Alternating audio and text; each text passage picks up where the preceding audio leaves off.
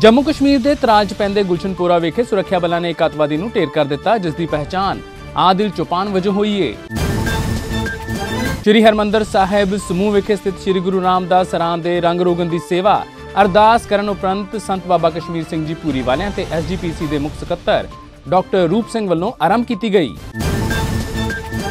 ਪੰਜਾਬ ਦੇ ਮੁੱਖ ਮੰਤਰੀ ਕੈਪਟਨ ਅਮਰਿੰਦਰ ਸਿੰਘ ਨੇ ਅੱਜ ਆਖਿਆ ਕਿ ਉਹਨਾਂ ਦੀ ਸਰਕਾਰ ਭਾਵੇਂ ਸਿਹਤਮੰਦ ਆਲੋਚਨਾ ਦਾ ਖਿੜੇ ਮੱਥੇ ਸਵਾਗਤ ਕਰਦੀ ਹੈ ਪਰ ਇਸ ਦੇ ਨਾਲ ਵਿਰੋਧੀ ਧਿਰ ਨੂੰ ਵੀ ਸਿਰਫ ਆਲੋਚਨਾ ਕਰਨ ਦੀ ਖਾਤਰ ਹੀ ਸਰਕਾਰ ਦੀ ਆਲੋਚਨਾ ਕਰਨ ਤੋਂ ਗੁਰੇਜ਼ ਕਰਨਾ ਚਾਹੀਦਾ ਹੈ। ਉਹਨਾਂ ਕਿਹਾ ਕਿ 15ਵੀਂ ਵਿਧਾਨ ਸਭਾ ਦੇ ਸਮੂਹ ਵਿਧਾਇਕਾਂ ਨੂੰ ਪਵਿੱਤਰ ਸਦਨ ਦੇ ਵਿਧਾਨਕ ਕੰਮਕਾਜ ਦੇ ਬੁਨਿਆਦੀ ਸਦਾਚਾਰ ਤੇ ਸਿਸ਼ਟਾਚਾਰ ਨੂੰ ਅਪਣਾਉਣਾ ਚਾਹੀਦਾ ਹੈ।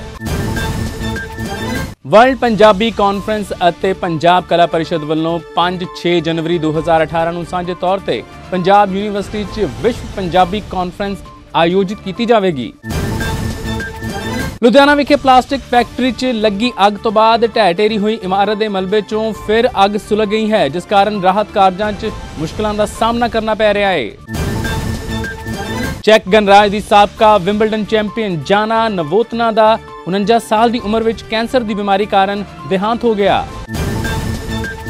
ਪੰਜਾਬ ਦੇ ਮੁੱਖ ਮੰਤਰੀ ਕੈਪਟਨ ਅਮਰਿੰਦਰ ਸਿੰਘ ਨੇ ਫਿਲਮ ਪਦਮਾਵਤੀ ਦਾ ਵਿਰੋਧ ਕਰ ਰਹੇ ਲੋਕਾਂ ਦਾ ਸਮਰਥਨ ਕੀਤਾ ਹੈ। ਕੈਪਟਨ ਅਮਰਿੰਦਰ ਸਿੰਘ ਨੇ ਕਿਹਾ ਕਿ ਕੋਈ ਵੀ ਇਤਿਹਾਸ ਨੂੰ ਗਲਤ ਢੰਗ ਨਾਲ ਸਵੀਕਾਰ ਨਹੀਂ ਕਰੇਗਾ।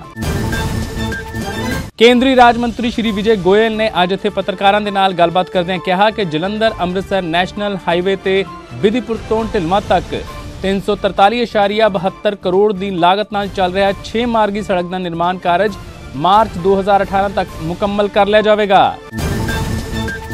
ਲੁਧਿਆਣਾ ਵਿਖੇ ਹੋਏ ਪਲਾਸਟਿਕ ਫੈਕਟਰੀ ਹਾਦਸੇ 'ਚ ਮਲਬੇ ਹੇਠਾਂ ਦਬੇ ਲੋਕਾਂ ਨੂੰ ਬਚਾਉਣ ਲਈ ਰਾਹਤ ਕਾਰਜ ਫੌਜ ਹਵਾਲੇ ਕਰ ਦਿੱਤੇ ਗਏ ਹਨ। ਅਤੇ ਗੁਜਰਾਤ ਦੇ ਮੁੱਖ ਮੰਤਰੀ ਵਿਜੇ ਰੂਪਾਨੀ ਨੇ ਆਪਣਾ ਨਾਮਜ਼ਦਗੀ ਪਰਚਾ ਦਾਖਲ ਕੀਤਾ ਹੈ। ਇਸ ਮੌਕੇ ਕੇਂਦਰੀ ਵਿੱਤ ਮੰਤਰੀ ਅਰੁਣ ਜੇਤਲੀ ਵੀ ਮੌਜੂਦ ਸਨ।